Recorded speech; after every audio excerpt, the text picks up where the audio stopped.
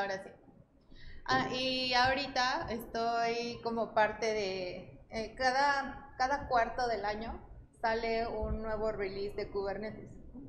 Eh, poniendo ya sea cosas adicionales, o sea, features adicionales o, o corrigiendo bugs o cualquier tipo de cosas porque es un trabajo en proceso, que es un poco el contexto por lo cual es tan difícil manejar Kubernetes aún hoy en día, porque falta muchísimo para que sea un producto terminado. Ahora, esto no significa que no sirva o que esté en beta o nada así, sino más bien como que hay muchas cosas que todavía se tienen que hacer manuales. A eso, a eso me refiero con que no está terminado. O sea, idealmente el, el objetivo es que Kubernetes sea algo que ni siquiera tengamos que interactuar directamente con él.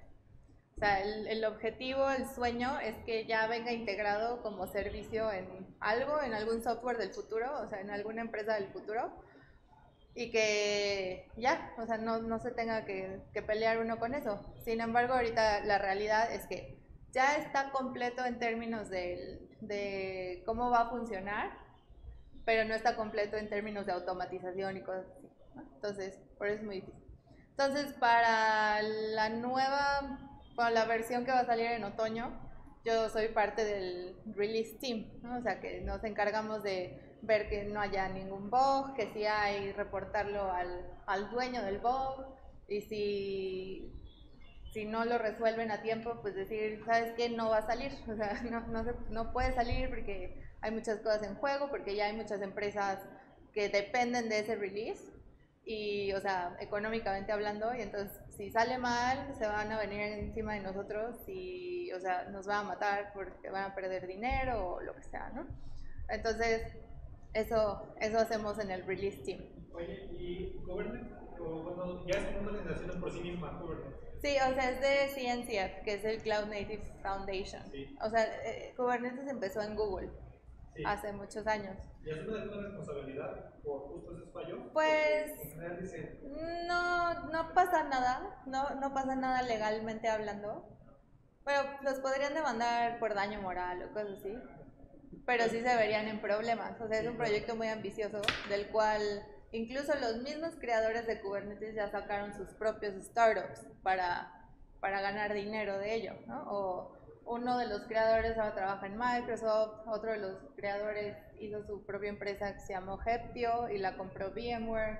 Entonces, o sea, aunque no pase nada al proyecto en específico, o sea, la reputación de mucha gente está en juego, ¿no? Entonces, nosotros estamos ahí para, o sea, si bien nosotros no arreglamos el bug en cuestión, porque sería muchísimo trabajo recibir los bugs de todos, eh, nosotros nos encargamos de decir así como, esto no va a salir, o de decir como, a lo mejor, me llega este bug de Maru, y yo tengo que ver, o sea, a lo mejor Maru como está tan ocupada en su, en, en su grupo de trabajo, no se da cuenta que su bug, que parece menor, los afecta a todos ustedes, ¿no? Entonces, el, es trabajo de nosotros ver si ese bug es algo menor o si es algo que va a bloquear el trabajo de muchas personas. Entonces, ahí tenemos que estar reportando muchas cosas.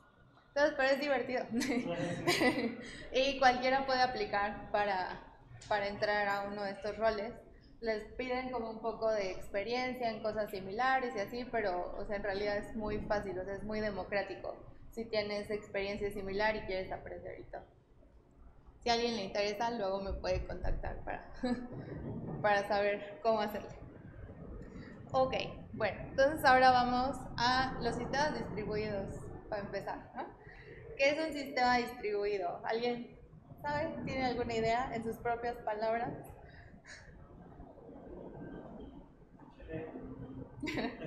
Como profe, bueno, si nadie participa, no se va a seleccionar. No, pues es que es viernes, ¿para qué? Anímense, mijitos. Para ver, Maru, digo, en tus palabras, ¿qué es un sistema distribuido? Ay, sí. Eh, los sistemas distribuidos son, eh, son los sistemas que ocupan, eh, como dice el nombre, distribuidos están, eh, No, se- sí. Se parten en, en como varios cachitos para, eh, es para asignar como una responsabilidad muy específica a cada uno. Podría ser, ajá, pa- para el streaming, que no escucho a Maru, y si es que hay gente en el streaming, eh, pues sí, o sea, dice Maru, literalmente como dice el nombre, es distribuir un sistema en pedacitos para como asignar responsabilidades por pedacitos. Ajá, bien, ¿alguien más? ¿Alguien dijo algo descentralizado? ¿Ustedes? bueno, un sistema que no es centralizado. E- Eso está muy bien, o sea, no han dicho nada falso. Eh, no, bueno. ok, por ejemplo, un sistema centralizado. ¿Alguien dame un ejemplo de un sistema centralizado? O sea, no tiene que ser de una compañía famosa, sino como un ejemplo de un sistema o así. Una base de datos. Una base de datos, ajá. ¿Y qué pasa si esa base de datos o se la roban o el servidor donde está se muere o algo? La compañía pierde dinero, que no. La compañía pierde dinero y así, ¿no? Entonces, bueno, en, en pocas palabras, o sea, si es una compañía hay pérdidas económicas. Si no es nada de dinero, o sea, ya, valió, ¿no? El, punto es que ya valió. Entonces, eh, para los, las bases de datos, que por ejemplo es un gran ejemplo de sistemas distribuidos, eh, incluso hay gente que el resto de su sistema sí lo tiene centralizado, pero las bases de datos sí las tiene como eh, repartidas en varias cositas, bueno, en varios servidores, clouds, proveedores, cosas así. Es muy importante, justo por el tema de los datos y porque representan todo el dinero de, de muchas compañías, ¿no? Pero bueno, así está distribuido. Ahora, la, la, la charla se llama eh, Necesito ser un experto en sistemas distribuidos para eh, usar o manejar Kubernetes. La respuesta corta es sí. no, no es cierto, no. La respuesta corta es no, pero. Esa es la respuesta. No, pero.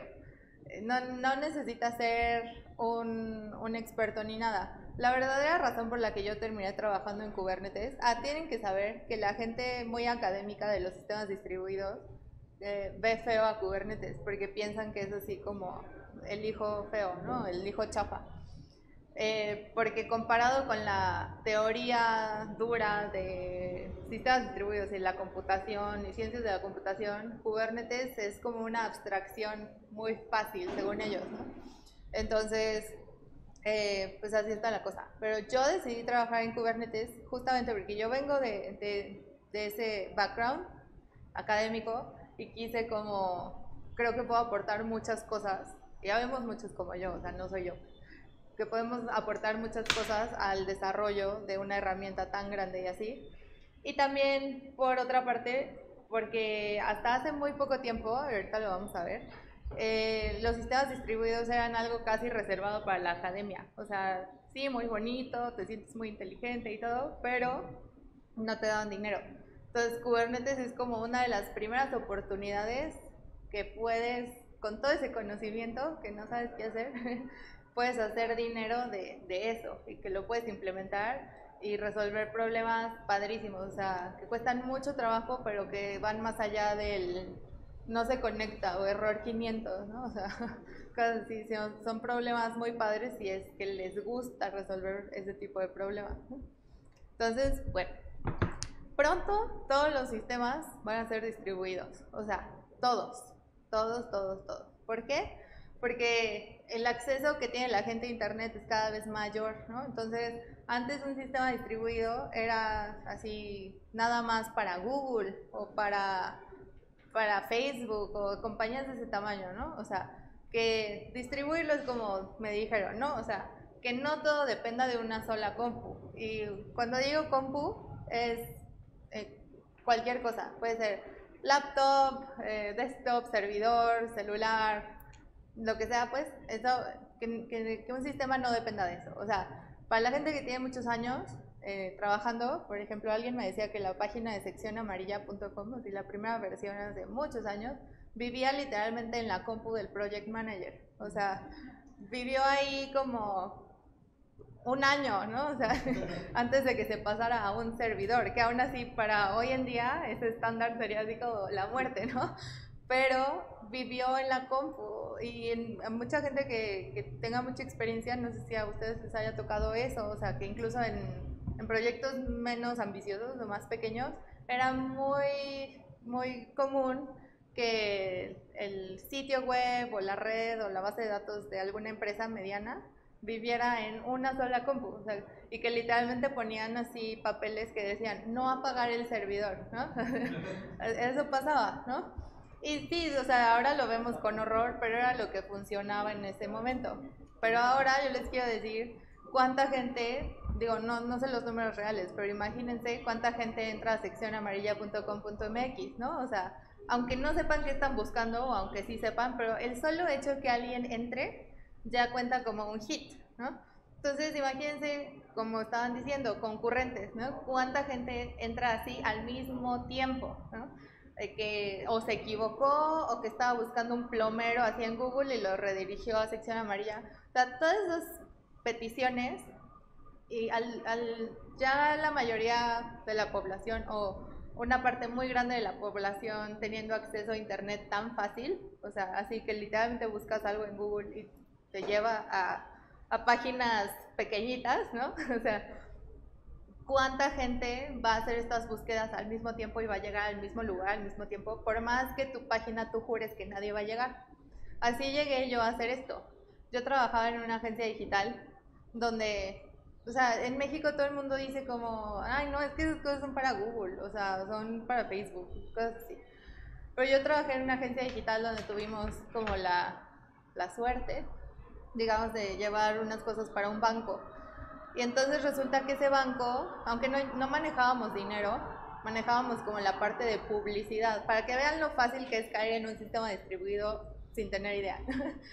eh, si ustedes tienen una tarjeta de crédito, por ejemplo, eh, que les dan beneficios, ¿no? Así que del 2 por 1 para el cine o que este, seis meses sin intereses en compras en el extranjero, no sé, cualquier tipo de cositas, pero que muchas veces te tienes que inscribir o que te dicen como, métete a esta página para el código, no sé.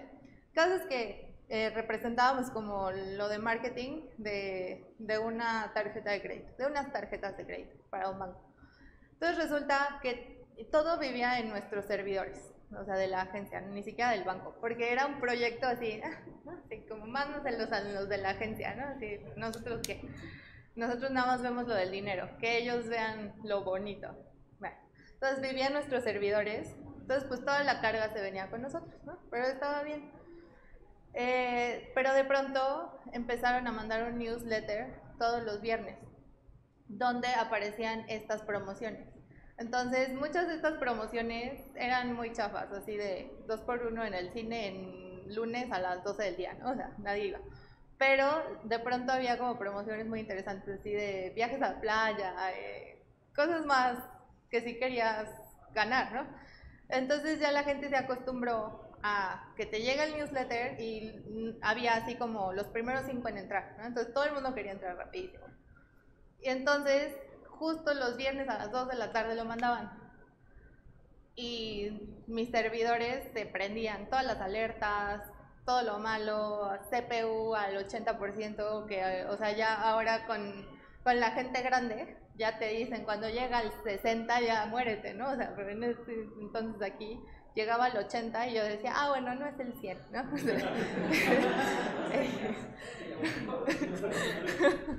y así matabas procesos y cosas así, muchas cosas estaban hechas en PHP, lo que sea. Pero que ahí es otra vez como un dato, no tal pie, ¿no? O sea, PHP, serán lo que quieran y lo que sea, pero era uno de los lenguajes aprobados por el banco para desarrollar. No podíamos meter cosas novedosas, no podíamos meter que el Node, que el Go, que cosas así. O sea, tenías que meter Java o PHP o C. O sea, es como, nadie sabe C a ese nivel aquí. Java, nadie lo quiere usar. o sea, de nosotros, pues, a ese nivel. Pues ya PHP, o sea, yo no lo hice, pero, o sea, eso hacía, ¿no? Entonces, o sea, de las cosas que les digo, no puedes juzgar tan fácil, ¿no? Entonces, eh, pues todos los servidores así a su máximo, pero medio yo lo controlaba. Pero ya hasta estábamos listos, así de que era todos los días a las 12 de la tarde, entonces yo ahí en mi compu, ya lista para matar todo, todo lo malo, ¿no? Así, luego escalábamos a un servidor. Esto es en la época donde ya había nube, pero sin las, las bondades de, ay, este, que es el autoscaling, que ahora le llaman, ¿no? Así de, ah, si necesitas, se hace, y de 10 servidores te pasamos a 100 en 5 minutos y cosas así. No, no había nada de eso. O sea, sí había de que tú llamaras a la compañía de servidores y les decías, habilítame uno igual, por favor, ahora mismo, pero eh, no, no era tan fácil como ahora, ¿no? Entonces, bueno, eh, empezó a pasar, a pasar, a pasar, pero es- este problema es muy específico de nosotros, pero para que vean lo fácil que es. Como estaba en PHP y era como un framework, Drupal, no sé, que como que para, para, hacer, para poder aceptar muchos usuarios, lo que ellos usan es el caching, ¿no? Hacer el, el- lo que aquí decimos cache, ¿no? Pero el cache. Este, pero entonces eso también se infla muy rápido, ¿no? Ocupa mucho espacio muy rápido. Entonces, no nos habíamos dado cuenta que pues sí, matábamos procesos, pero el cache seguía ahí guardándose y guardándose y guardándose. Hagan de cuenta que para distribuir era como su modo de distribuir su servicio, era como a la mitad de este salón les voy a mostrar esta versión de la página y a la otra mitad otra versión, que para ustedes probablemente se vería idéntica, pero no era la misma. O sea, para que no todos tuvieran acceso al mismo y que se muriera. Entonces, como medio load balancing. Entonces, eh, pues así estuvimos, pero resulta que el cache pasado se quedaba guardado y, o sea, se depuraba muy ineficientemente. Entonces de pronto ya llegaba al 100% y entonces llegamos a hacer cosas muy poco éticas, pero para tener más espacio de servidor. Pero ya más allá de eso, era como que no podíamos ya ni dormir porque ya no se prendían las alertas a las 2 de la tarde, sino como que ya a las 3 de la mañana, a las 4 de la mañana, y nadie sabía nada. Llegábamos a la oficina y todo el mundo viéndonos feo y así. Y entonces, eh, pues empezamos a ver que eran estos problemas. Ahora, por otro lado, este, empezamos a ver que las alertas ya se prendían también desde la 1.50. Y así como, pero todavía ni llega, o sea, ¿por ¿qué está pasando? Entonces investigamos aquí que el servidor y que no sé qué, que el paper, bueno, resulta que el banco mandaba ese mismo newsletter, pero primero a sus empleados, con cinco minutos de anticipación para que tuvieran preferencia, ¿no? O sea, eh, cinco minutos, tres minutos, no sé, pero era muy poquito, pero para que ellos tuvieran la preferencia de las promociones chidas, ¿no? Pero eso nunca nos lo dijeron. Pero importa en un sistema así, ¿sabes? Porque la carga se viene desde minutos antes de lo que yo lo esperaba. Entonces, para cuando yo ya esperaba la carga fea, ya estaba muerta. O sea, entonces empezamos a investigar, investigar, investigar. Y pues nadie de nosotros había trabajado con un sistema distribuido como tal. O sea, y hasta ese momento no le decíamos sistema distribuido, ¿no? O sea, le decíamos sistema feo.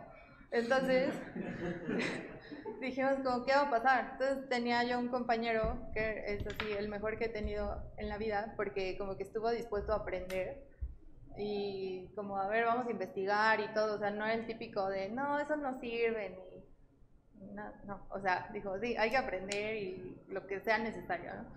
Y entonces lo resolvimos muy rápido, en cuestión como de semanas, porque eh, conocimos Go, el lenguaje de programación, ¿no?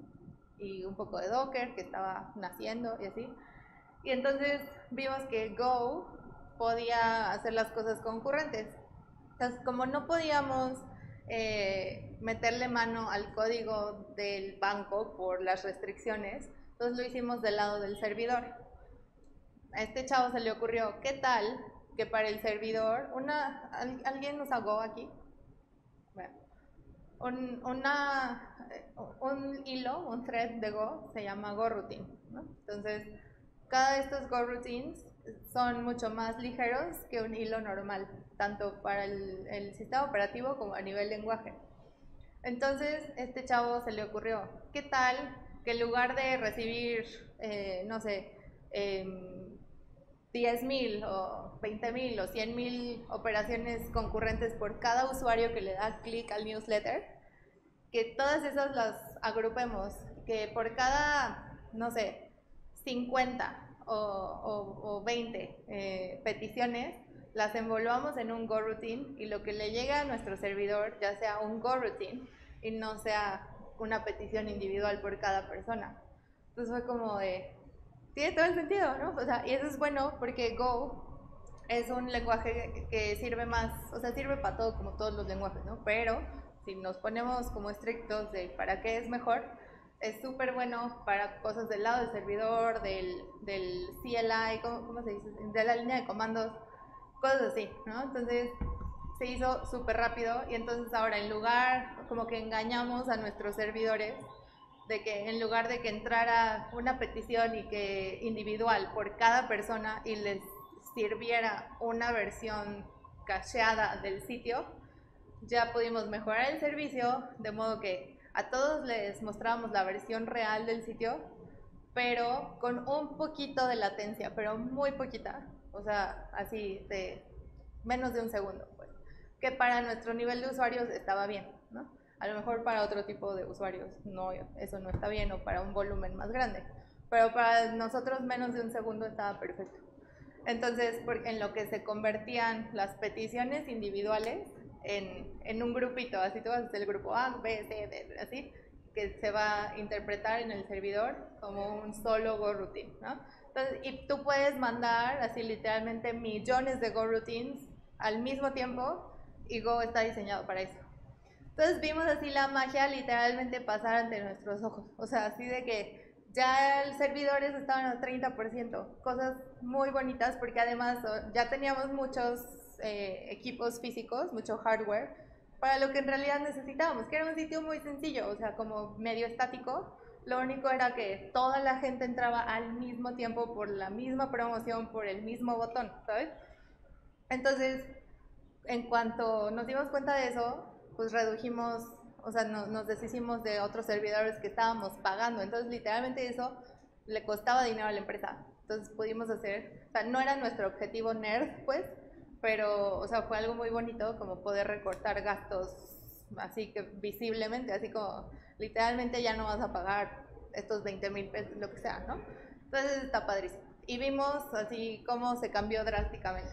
Entonces de ahí ya fue como, wow, o sea, distribuimos un sistema tanto físicamente, o sea, sí, en diferentes servidores, porque obviamente ya cuando ya lo hicimos ya bien en forma, eh, pusimos así como de el load balancing, ¿no? Así de que en caso de que este se caiga por cualquier razón, sea nuestra culpa o no, este, que este entre al quite. Y si los tres funcionan, pues que los tres se repartan la carga en partes iguales, ¿no?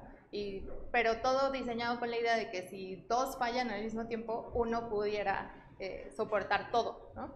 En caso de catástrofe. Y así. Entonces, eh, pues eso fue como el primer sistema distribuido que hice en la vida real. Pero, o sea, fue en una agencia digital, ¿sabes? Donde a mí no me pagaban un salario de, de, de sistemas distribuidos, me pagaban un salario de backend normal, de Python backend, que nunca hice Python ahí, o sea. Entonces, eh, eso también te dice un poco de cómo son los sistemas en México. Pero padrísimo. Entonces ya eh, después de eso, como que encontré el diplomado en sistemas distribuidos y ya aprendí todo esto formalmente. Y bueno, esto es en pocas palabras, en palabras como para todos. Eh, literalmente, los sistemas distribuidos parten de una cosa que se llama el problema del consenso, que es tan fácil como se oye, que es básicamente ponerse de acuerdo. Hagan de cuenta que todos aquí son parte de un sistema distribuido y cada uno de ustedes es una compu. Y como dice ahí también, o sea, una compu, ah no, en el, en el pasado.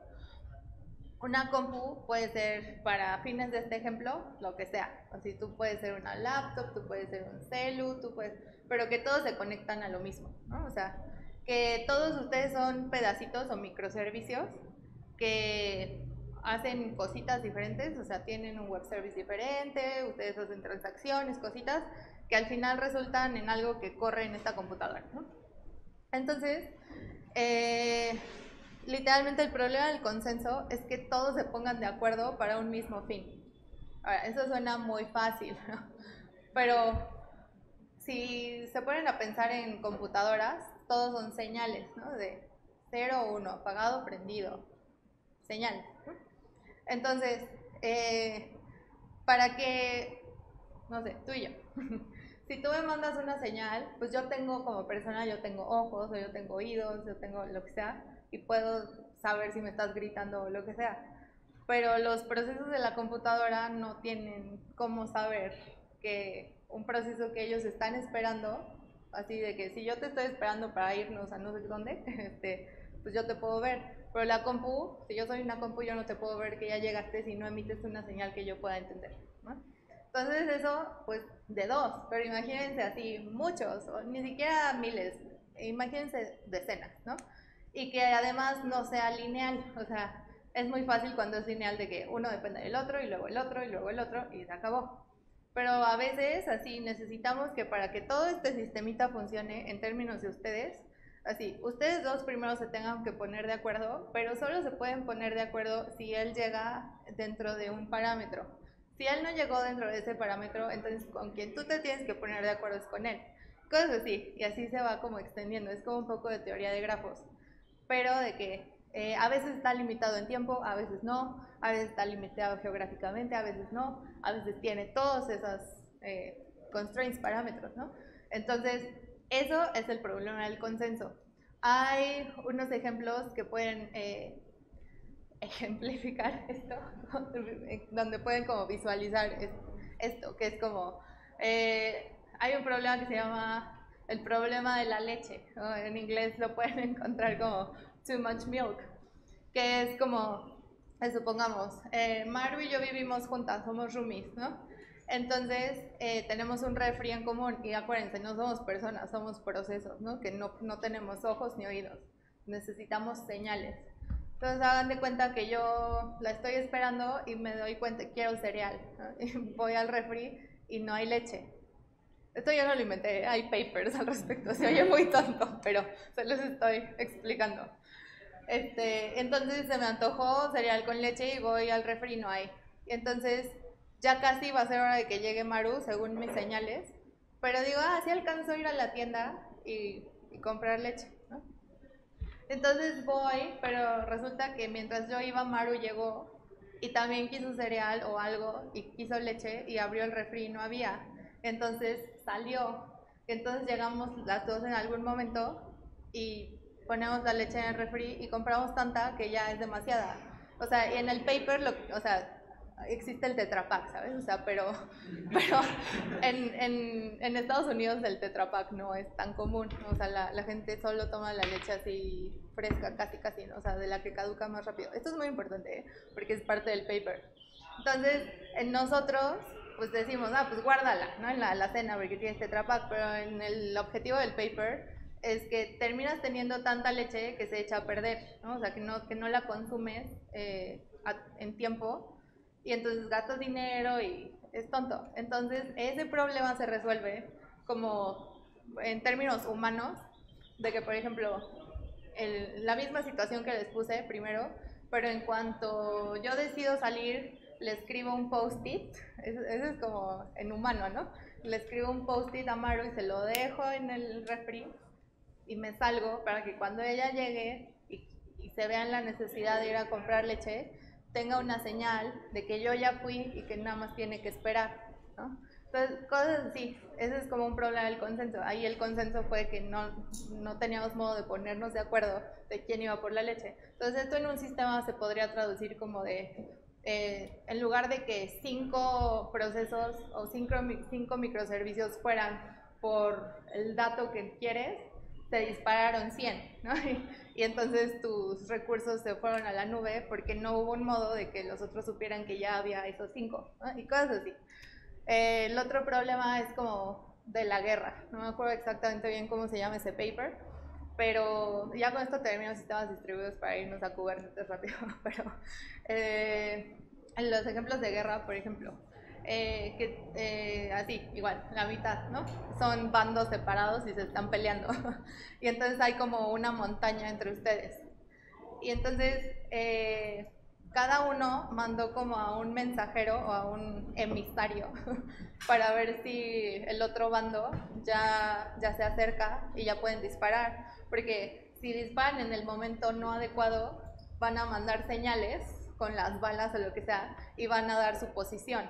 O sea, va- van a revelar su posición al otro equipo y entonces ese equipo puede tomar decisiones basadas en ustedes, en ustedes, este, si dan la señal en un mal tiempo. En cambio, si el emisario va y regresa y les dice así como de, ya, justo ahora es el momento, disparen, los matan, ¿no? O al revés. Pero entonces tiene que ser en el momento justo. Como hay una montaña de por medio, no los pueden ver, ¿no? Entonces, todo es a través de señales, o sea, y depende del emisario. Pero entonces luego hay otro problema del consenso, que llegó el emisario y otra vez no tiene ojos ni oídos, son cositas de computadora, ¿no? son procesos de computadora. Entonces tienen que mandar una señal. Entonces le mandan la señal al capitán de su equipo.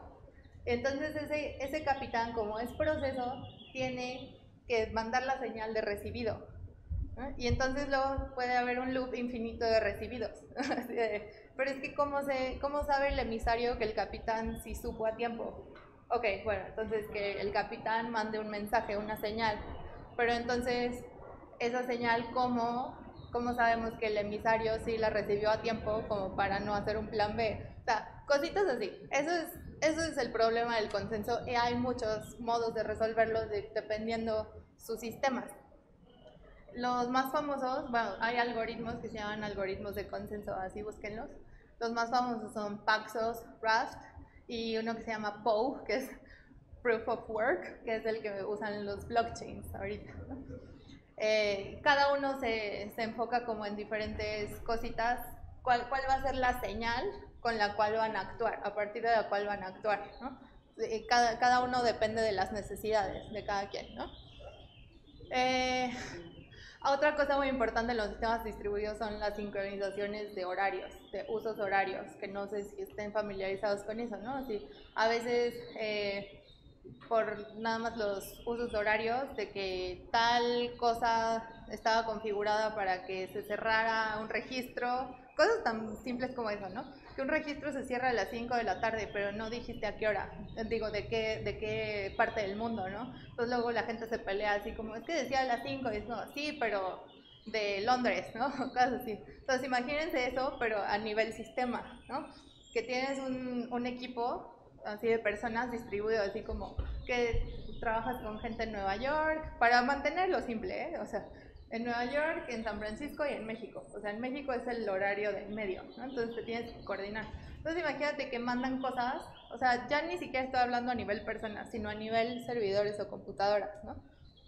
Que alguien manda algo eh, con, sin, sin tener en cuenta esos horarios y entonces en su servidor van a tener una hora y en el de Nueva York van a tener otra hora y en el de San Francisco van a tener otra hora. Entonces ya va a haber como una discrepancia a nivel sistema. Entonces no van a saber en qué momento se mandó un, por ejemplo, Maru dice como yo voy a mandar un mensaje a las 5 de la tarde, pero si solo se fija en su servidor y tu servidor que está en Nueva York, entonces a lo mejor tú como compu, o sea, a nivel procesos, pues, no como programador, sino a nivel procesos, tú tenías que procesar unas 100 cosas para estar listo para recibir su mensaje a las 5 de la tarde. Pero como él- ella como proceso no dijo, no, no tiene indicado un horario universal, sino el de México, tal vez cuando a ti te llegue ya sea demasiado tarde o demasiado temprano. Entonces ya no se procesó ese mensaje como se tenía que procesar o esa señal como se tenía que procesar. Entonces eso puede causar como que la, la señal que se mande es como un error 500, ¿no? Así como, no, no se pudo. Cuando en realidad solo se tenían que poner de acuerdo en, en el horario. ¿no? Cosititas así son problemas que se resuelven con los sistemas distribuidos. Entonces, Ay, bueno, ¿tienen alguna duda? ya, ya voy a acabar. Eh, ok, todo esto, ah, una de las partes que más me gusta a mí personalmente de los sistemas distribuidos es que es un área muy apegada a la academia. O sea, estas cosas, Paxos, Raft y así, son papers que ustedes pueden encontrar en el internet. Raft es más nuevo, Proof of Work es más nuevo, Paxos es viejo. Y mucho de, de la teoría de estas cosas se escribió en los 70s, ¿no? Así con Smalltalk, con Erlang, con cosas así. cosas que los nerds de ese tiempo y de ese tipo no pudieron, no pudieron aprovechar al implementarlo, porque no tenían sistemas que lo necesitaran.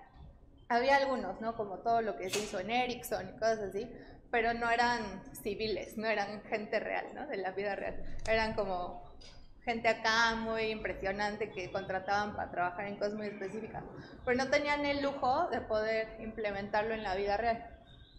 Entonces ya, este, ahora la teoría es la misma, ¿no? o sea, tú sigues leyendo el paper de 1978 y sigue aplicando. Entonces a mí me gusta mucho porque es literalmente todavía muy apegado a la academia, no es, no es una biblioteca que hizo un niño o cosas así, o sea, son cosas muy padres, ¿no? Entonces pueden encontrar toda esta información en el internet y, y está padrísimo y hay muchísimos trabajos al respecto. Eh, la- el modo más fácil de llegar a este punto es sí teniendo las bases de, de ciencias de la computación, pero eh, no es necesario haber ido a la escuela, ¿no? O sea, que nadie les diga que, que sí, pero es el modo más fácil.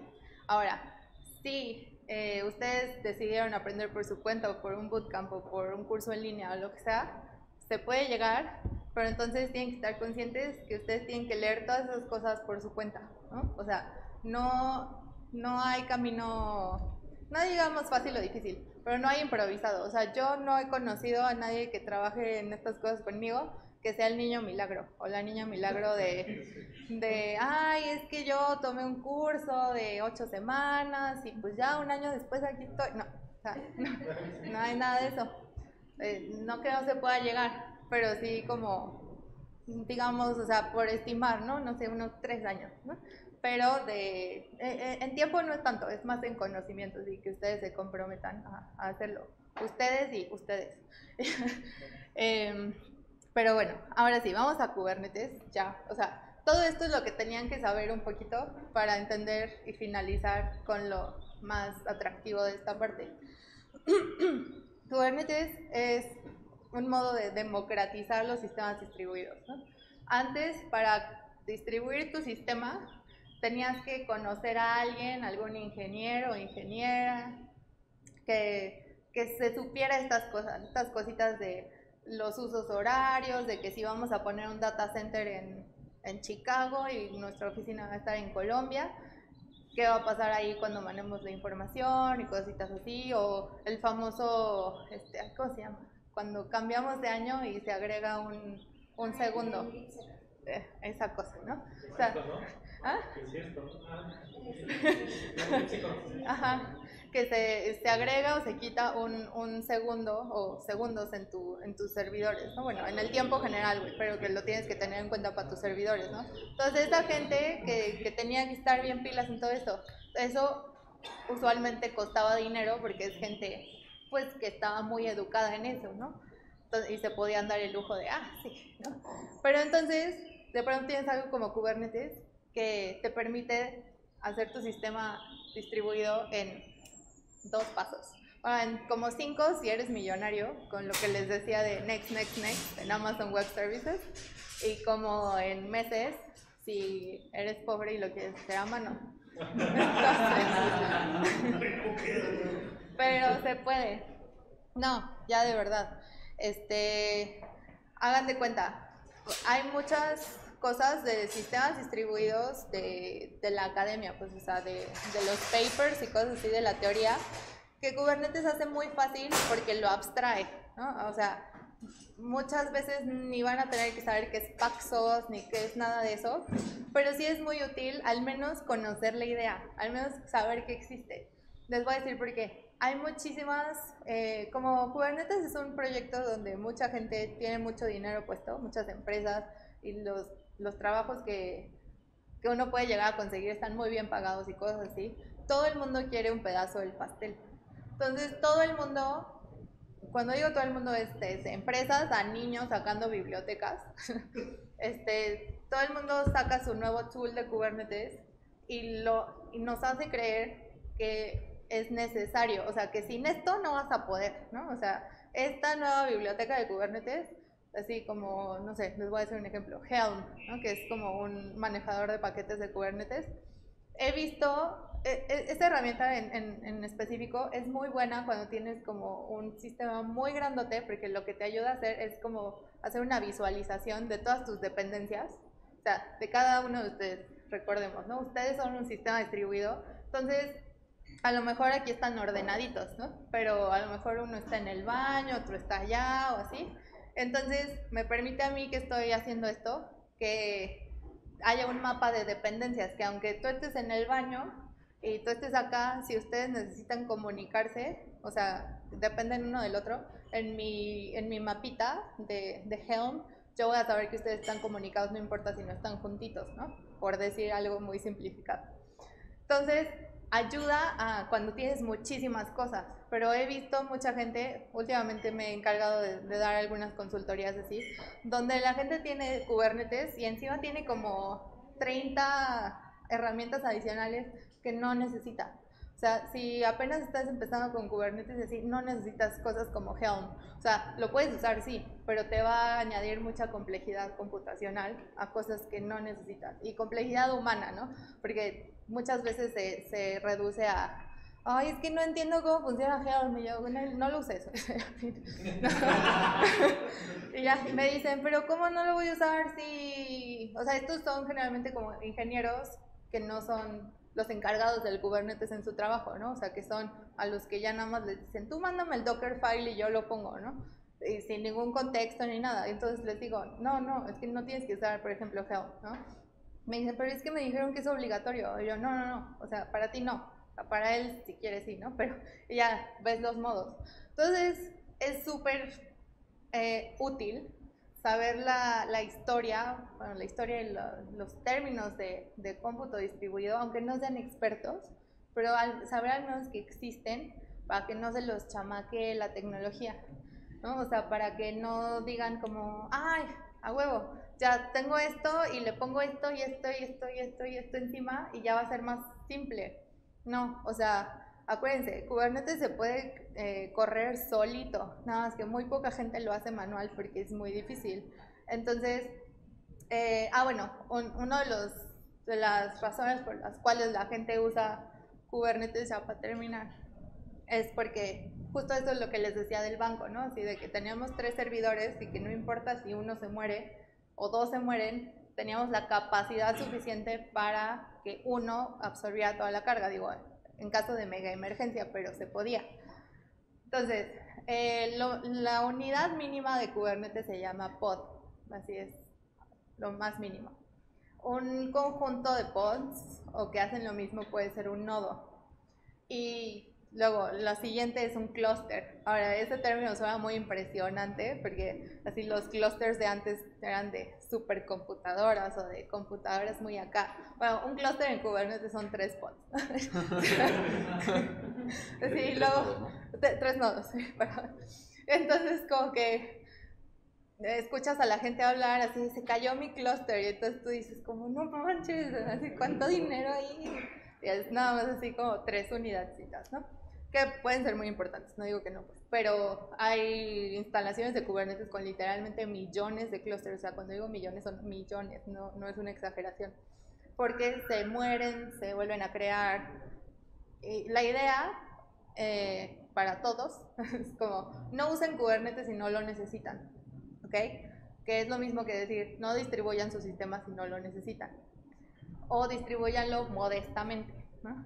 Entonces, no vas a necesitar cientos de clusters si no estás en ese momento en tu, en tu empresa o en tu negocio.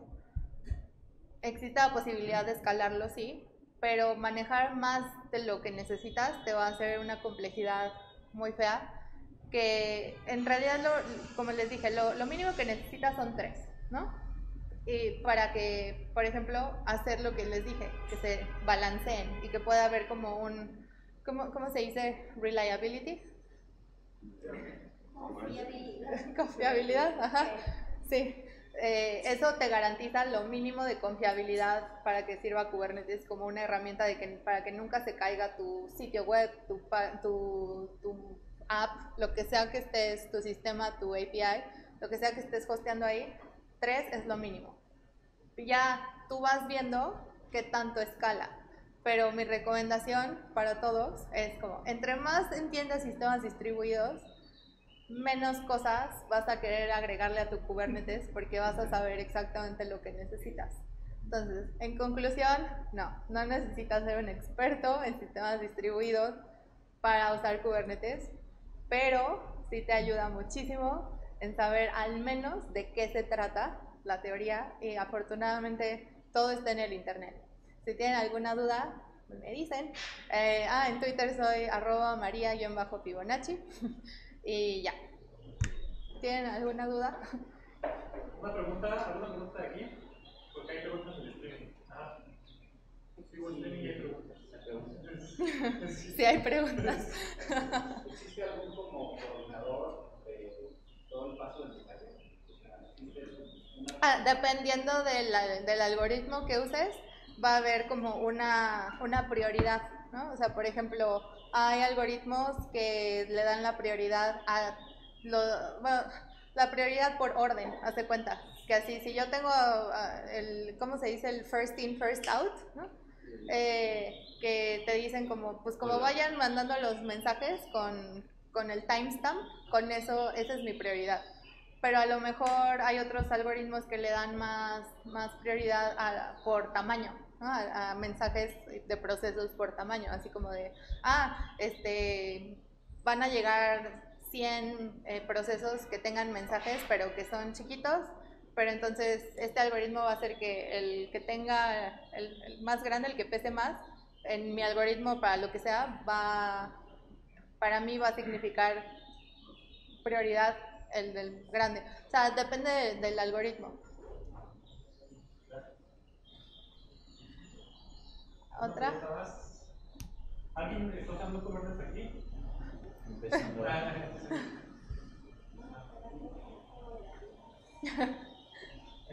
Sí. No afecta mucho, por ejemplo, cuando hay un, un log en la parte de storage. o sea, Por una razón nos afecta mucho. Si hay algo que está causando un niño, no puedes terminar. Ajá. No puede ser el fallback a otro lado. Ah, pues también hay como que lo, lo- ah, bueno. Sí, sí, sí. Eh, o sea, otra vez es como tú lo quieras. El, como dije al principio, el, el ejemplo más, más útil y más relevante en la vida diaria de sistemas distribuidos son las bases de datos. Y eso implica también sus logs y todo, todo lo que tienes así como eh, de tarea, pues, o extra. Eh, con, al distribuirlos no solo es para, para asegurarse de que los datos estén seguros, que eso es lo máximo, ¿no? Pero también de, para que se procesen, ¿no? Así que no sean en batch, que puedan ser como en tiempo real, aunque, aunque no sea hard real time, que mucha gente no necesita eso, pero al menos un sub real time o, o, o concurrentemente, ¿no? Sí, y puedes, puedes tener muchas decisiones, o sea, puedes tener así como que si este, esto no, no respondió eh, dentro de los primeros cinco segundos, lo matas y se regenera. Cosas así. La latencia. Sí, tú, tú lo vas configurando. Esa es la parte padre de Kubernetes. O sea, eso lo puedes hacer desde los sistemas distribuidos. Pero implica saber del protocolo y saber del algoritmo y que no sé qué, bla, bla. Pero con Kubernetes, así literalmente, todo se, se, se dirige a través de archivos .yaml, ¿no? que pueden ser muy tediosos luego. Hay por ahí una nueva herramienta que va a salir, que se llama Cluster API, pero luego les cuento de eso en Twitter. Este, pero por ahorita es todo con punto YAML. Entonces ahí en el YAML, aunque sea tedioso, es muchísimo más fácil que hacer tu algoritmo de consenso. Entonces ya nada más le pones cuántos segundos vas a querer esperar o si puede estar ahí indefinidamente, lo que tú quieras. Entonces esa es la parte padre. Tú le puedes configurar absolutamente todo.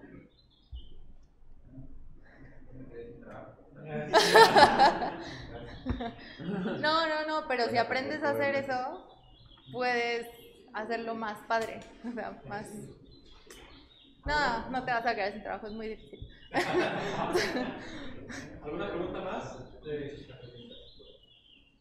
Bueno, esta recomendación que tú has dado, todas las personas que han hablado de Kubernetes aquí la han dado, eh, hasta se han atrevido a dar números y yo creo que es presente un domingo, dijo, si no tienes menos de 50 contenedores, no te metes con Kubernetes, por ejemplo. Y me imagino que has trabajado tú con clientes, bueno, has trabajado con clientes en los que tú, ¿por qué diablos estás usando Kubernetes? Si tienes algún, así como regla de dedo, porque justo la gente ve, justo, tú lo has visto, ve algo y corre a usarlo, ¿no? Sí, Entonces, sí. Tienes como alguna regla de dedo para que no, no, no, no, como dijiste, es difícil, ¿no? Es difícil manejar, entonces va a llegar el punto en el que, más bien llega, la mayoría de veces es, te estás complicando la vida de gratis cuando puedes usar Así es.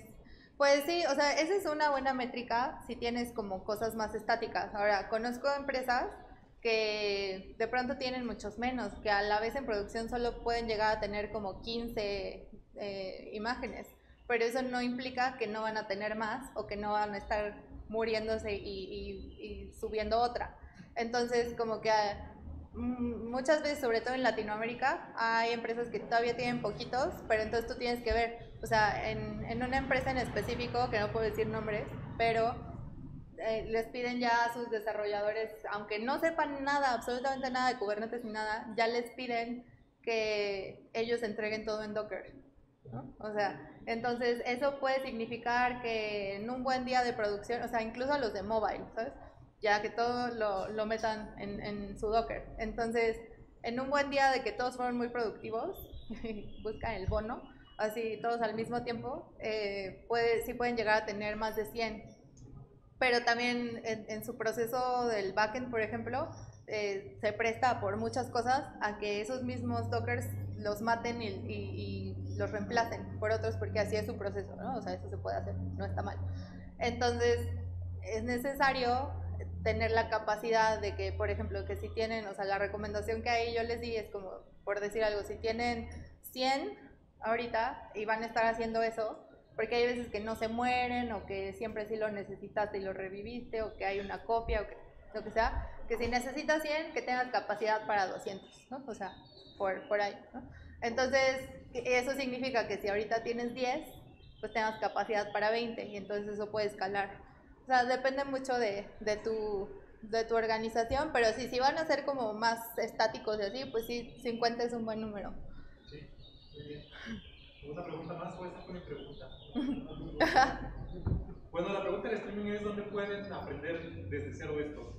Ok, eh, ¿de Kubernetes o de sistemas Sistemas distribuidos? distribuidos y Kubernetes. Pues literalmente busquen Leslie Lamport, así, Leslie Lamport es un señor, se llama Leslie, y él, su trabajo ya, ya es mayor, pero, pero su trabajo está fondeado por Microsoft Research, desafortunadamente, pero ellos tienen todos sus papers, o sea, cuando tú buscas Leslie Lamport, de, así, de los primeros resultados es todo su, su trabajo de, eh, que está hosteado en Microsoft Research. Y ahí pueden ver todos sus papers y elegir el que más les guste y todos, de todos van a aprender. En particular lo que les dije de Paxos y Raft, eh, hay una herramienta que se llama etcd que es eh, como el corazón de Kubernetes, que está hecho en CoreOS, fue hecho en CoreOS.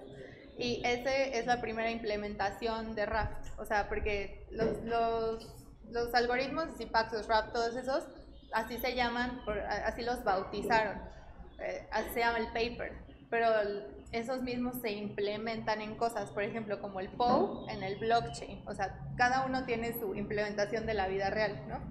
Entonces, Paxos hay un chorro, porque fue como el más famoso. El Raft está en. Hay una nueva base de datos que se llama dgraph, que también implementan Raft, etcd, cosas así. El POW con todos los exchanges de Bitcoin eh, usan ese. Entonces, eh, pues ahora sí que así pueden buscar todos esos papers, pero si no, busquen Leslie Lamport y Barbara Liskov. Ya. Con esos nombres así les sale la Biblia de los distribuidos y una cosa los va llevando a la otra. Ese es un buen modo de empezar. Y para Kubernetes algún libro, o bueno, tienes que empezar por, ahorita que lo acabas de decir, ¿no? para, saber, para empezar, para saber de Kubernetes tienes que saber contenedores, ¿no? Entonces Sí. antes debes de, de en Docker. En Docker, sí. O sea, me voy a quemar cuando diga esto, pero pero me dicen, no lo he visto, pero yo confío mucho en él, que el mejor curso de Docker en español está en Platzi. Este, pero que lo dio un niño, bueno, niño señor que se llama Guido Valariño, creo. Es argentino. Parece que es así el mejor curso de Docker que pueda haber. Entren a Platzi y nada más vean eso y se salen. no, no es cierto. Se puede comprar por curso, ¿no? Creo que sí, pero así. Pasen sin ver. No, no, no, ya en serio. O sea, bueno, eso también fue en serio, pero eh, sí, te- de- dependiendo como del nivel que quieran, no necesitas ser experto en Docker para aprender a usar Kubernetes, pero pues sí, mínimo saber qué es un Dockerfile, cuánto pesan, por qué luego son tan pesados, cosas así. Y este de Kubernetes el mejor el- lo mejor que pueden hacer para aprender, como bien les dije, es algo que está todavía en progreso. Entonces hay muchos libros y no significa que sean malos, pero van cambiando muchas cosas muy rápido. Entonces, a menos de que tengan una suscripción tipo esa de O'Reilly, de Safari o así, donde tengan acceso a muchísimos libros y sus actualizaciones, la verdad es que los libros de Kubernetes o sea, te sirven como guía, pero no para aprender así lo más nuevo. Entonces, eh, Domingo da la misma recomendación, que es cuando él empezó a aprender, primero se fue a la documentación oficial, que cada vez está mejor, la verdad, y tienen tutorialcitos y así. Pero lo que le funcionó a Domingo y a mí a todos los que trabajamos en eso es literalmente leer el código fuente y estar al pendiente de los nuevos releases y qué cambió, qué, qué esto, qué el otro. Es open source, pueden contribuir. También pregúntenme de eso, por- porque ahora yo los puedo meter ahora que estoy ahí en el release team. Eh, pero es mucho más, menos de libros, menos de papers. Solo hay un paper de Kubernetes que no es ni siquiera paper, sino es white paper, de esos como comunicados de marketing disfrazados de, de academia y ya. Y este y está bien que puedan aprender de ese pues pero si quieren aprender así bien bien bien lo mejor es irse al código que está está bien hecho y está muy bien organizado todo la documentación. Está en Go, está en Go ah sí también tienen que aprender Go. O sea no significa que cuando usas Kubernetes en producción tengas que usar Go o sea todo todo tipo de lenguajes, todo tipo de tecnologías cabe en Docker y por consiguiente en Kubernetes. Pero si le quieres meter ya mucha mano, pues es en Go. Go y Bash, la verdad es más Bash que Go. Pero, pero tienes que saber mucho. Y, y ya.